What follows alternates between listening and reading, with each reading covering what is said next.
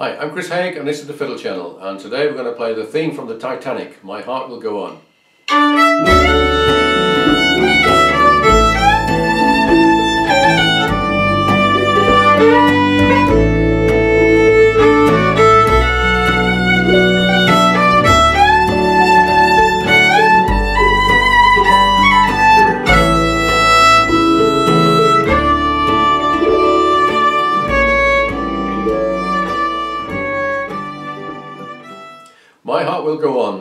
This was the tune uh, recorded by Celine Dion, written by James Horner for the film Titanic and released as a single in 1997.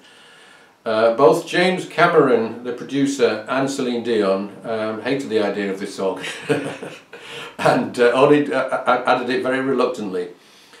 Um, but of course it was a, a massive hit. Um, I think it's, it's Celine Dion's most popular song.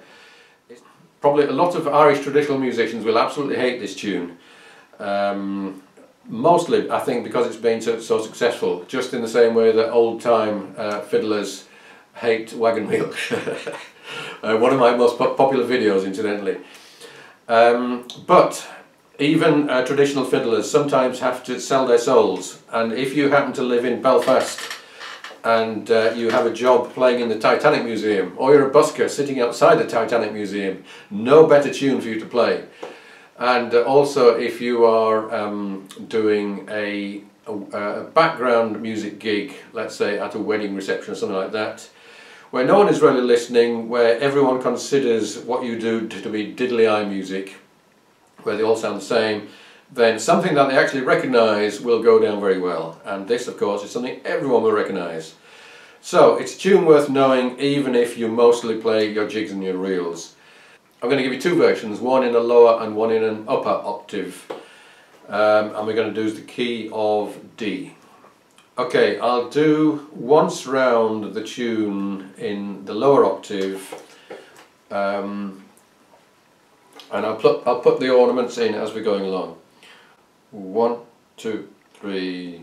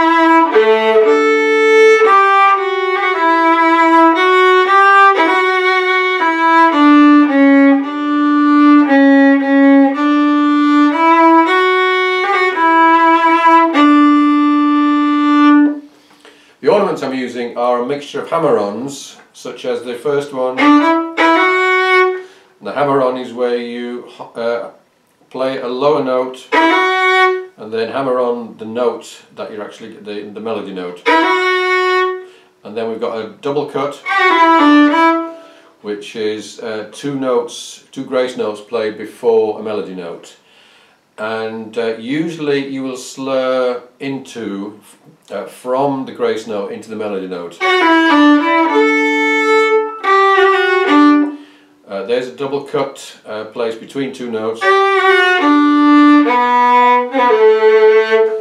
Sometimes you'll do the um, the grace note at the end of the previous note like that. I'm not I'm not quite sure why you'll sometimes slur a long note into the grace note and sometimes you'll do the grace note into the next note. If anyone can explain why that might be, I'd be very happy to hear. Um, And of course you can put these grace notes wherever you like. There's lots of different places you can use them. You don't have to do them all the time. But if you don't do any, then it's not going to sound very Irish. Uh, let's do the same again in the upper octave. One, two, three.